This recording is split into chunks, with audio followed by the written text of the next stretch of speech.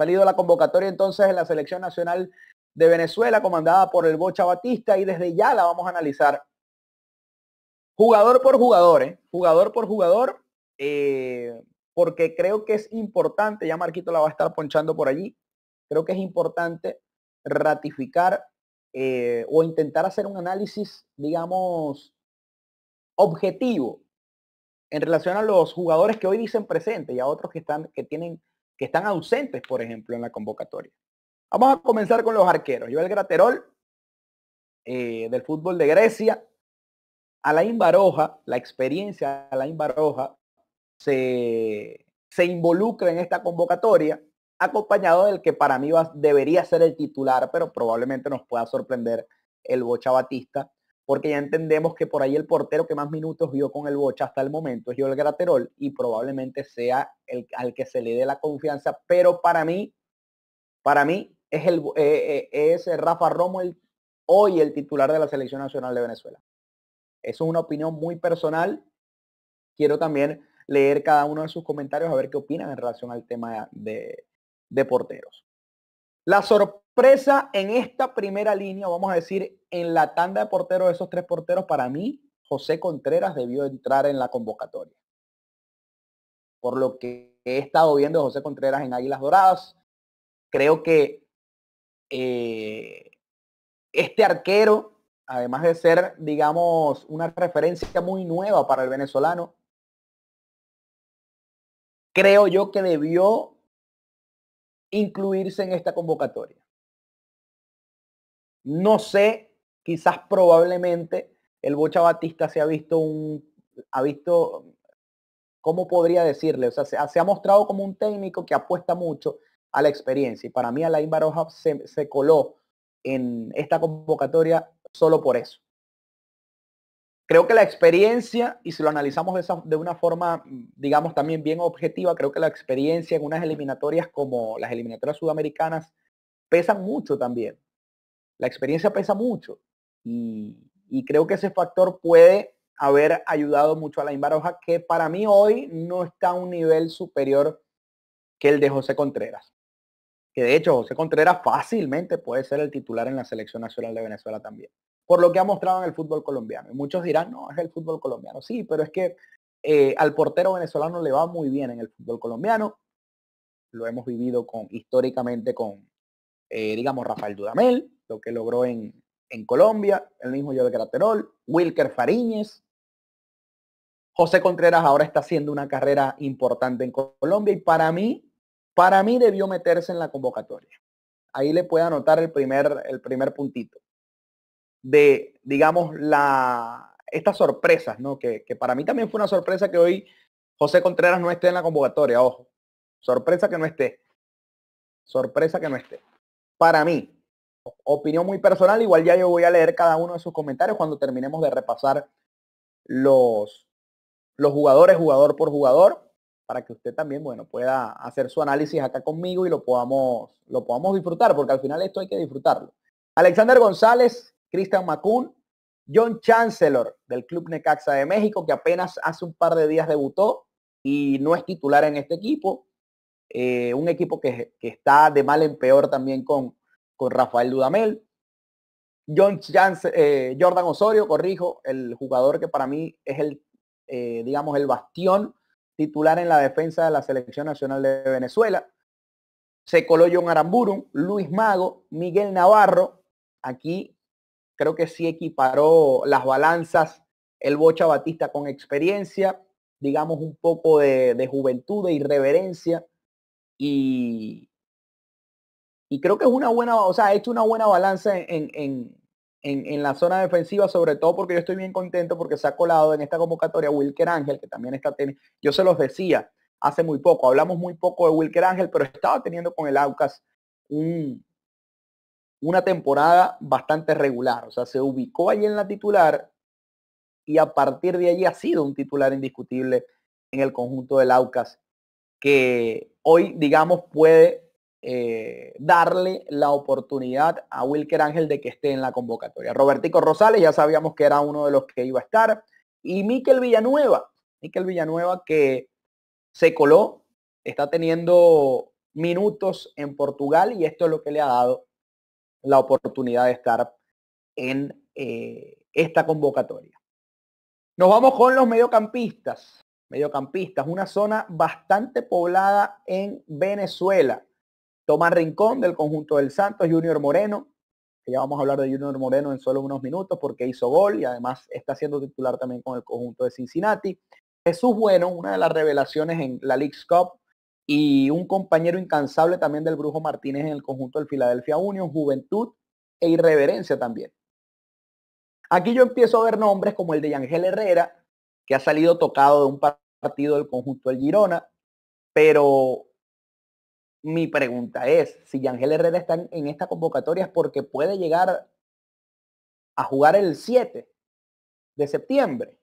¿O es tan importante Yangel Herrera para la selección que ya el Bocha lo está mirando para el partido contra Paraguay en casa? Es una pregunta que también tenemos que hacernos y analizarlo también de la, de, la mejor forma.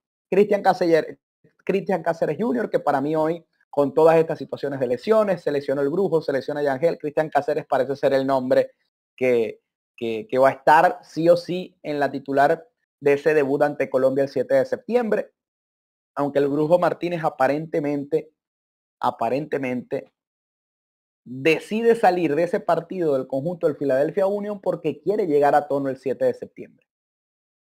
Pero es una incógnita también, como otros nombres que vamos a resaltar. Pero si está en la lista es porque hay posibilidades, muchachos, y eso me deja también un poco tranquilo. Se involucra en esa lista de mediocampistas Eduard Bello, del conjunto de Mazatlán de México, y empieza, digamos, la zona la zona premium de Venezuela, que es la zona de ataque, porque mm, si bien es cierto, Salomón Rondón no ha tenido una adaptación tan importante en el conjunto de River Plate, sí siento que la zona de ataque de Venezuela es una de las mayores fortalezas que tiene hoy el Bocha Batista. Y esto acá tenemos que ser francos, sobre todo por lo que te puede generar un Rómulo Otero viniendo desde la banca, lo que te puede generar un Darwin Machís, y se incluye Samuel Sosa, que no estuvo en esa gira por Estados Unidos con Honduras y Guatemala, pero Samuel Sosa también está teniendo una temporada importante en Ecuador. Y vamos repasando esos nombres. Jefferson Savarino, del conjunto del Real Salt Lake City de la MLS. Eh, Rómulo Otero del Aucas. Samuel Sosa del Emelec de Ecuador. Jefferson Soteldo del Santos. El caso de Jefferson Soteldo también eh, es importante. Marquito va a colocar ahí una foto que alcanzó a ponchar Marquito con esa velocidad que tiene de Jefferson Soteldo hoy, eso fue hoy, yo no sé si Marquito la tienes en pantalla, fue hoy en horas de la mañana, pero Jefferson Soteldo después la tumba. Pero ya, Marquito ya la tenía en su poder. Eh, esto fue hoy.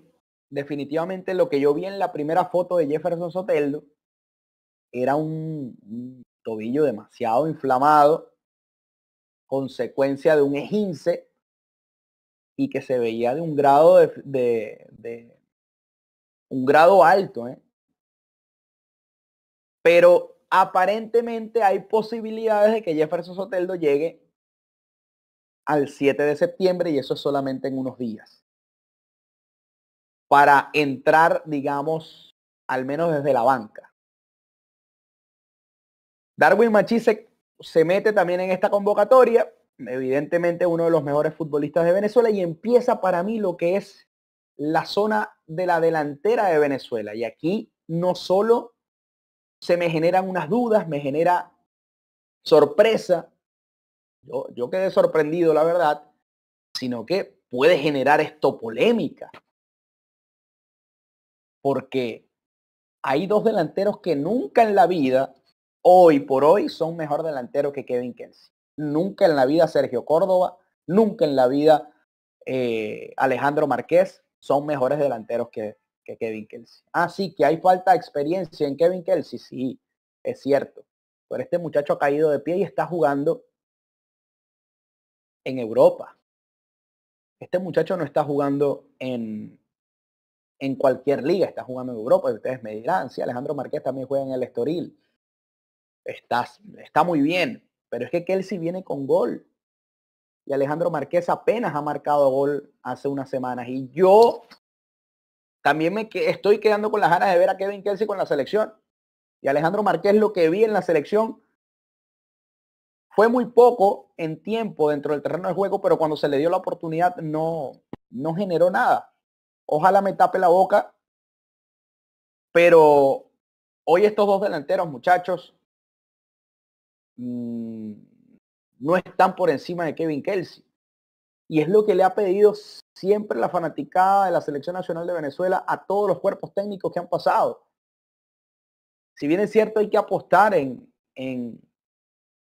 digamos, en la experiencia y en, y en la jerarquía de algunos futbolistas, a veces, a veces, siento que es importante no probar, porque al final no es probar, pero sí dar oportunidades a futbolistas que yo no sé qué más tiene que hacer Kevin Kelsey para estar en una convocatoria de la selección. No sé la verdad siéndoles lo más sincero que puedo. No sé qué habrá pasado con Kevin Kelsey, pero no entiendo. Futbolísticamente no hay razón por la que Kevin Kelsey hoy no esté en la convocatoria. Porque no hay... Para mí Kevin Kelsey es el tercer delantero en la selección nacional de Venezuela. Entonces Alejandro Márquez, del Estoril Praia, del fútbol de Portugal, Salomón Rondón de River Plate, Joseph Martínez del Inter de Miami y Sergio Córdoba del Vancouver Whitecaps de la MLS son los que completan la convocatoria de la Selección Nacional de Venezuela.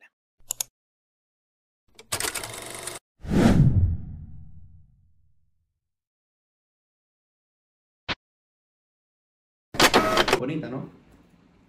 ¿Quieres ganarte esta camiseta, la oficial del conjunto River Plate y de José Salomón Rondón? Solamente tienes que activar la campanita, suscribirte al canal y darle like a este contenido, además seguir los pasos que están en la descripción de este video. O sea, es por medio de la plataforma que te pone a ganar.